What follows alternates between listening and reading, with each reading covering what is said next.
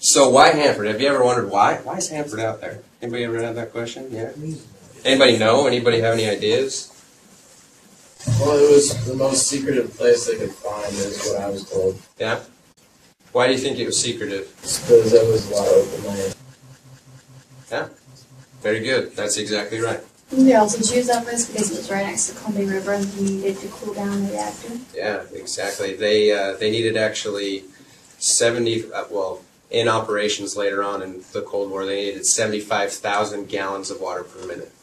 So picture if uh, everyone in uh, Richland or Kennewick had a gallon of water, and that's how much they needed in one minute. So, thank you. Um, I was gonna say because it's far out in the middle of nowhere, and so it's um, safer for people to live in Richland. Mm-hmm. Yeah, because there weren't people around. If they're doing this dangerous stuff, then they couldn't have people around. disguise it by building a whole bunch of fake houses for like people that were flying over. Well, they, they did try to um, confuse people that would fly over. The, the thing that I heard about it was that they built things exactly alike in different areas. And so it all looked similar um, if they were to fly over.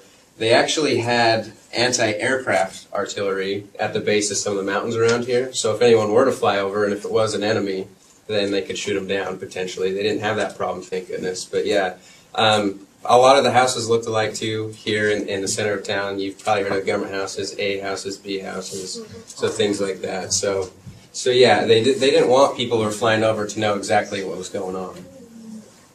Any other ideas? Those are great ideas. So yeah, we're just going to add a few of those. Um, they wanted it. You were right about being remote. They didn't want it anywhere near people. So we had we couldn't be up near Seattle. We couldn't be um, down by Los Angeles or anyway because there's too many people there. So they wanted to be remote. The problem with being remote in the middle of nowhere is you can't get people here if you need them. You can't have your get your supplies here if you need them. So the interesting thing about this area is that we had a railroad right in Pasco. So they could get people here, they could get supplies here, so they still needed some sort of transportation to get people here, even though they wanted the middle of nowhere. The Columbia River was important for another reason too, is because they needed hydroelectric power. Coulee Dam provides that. So energy from the water too. And uh, let's see.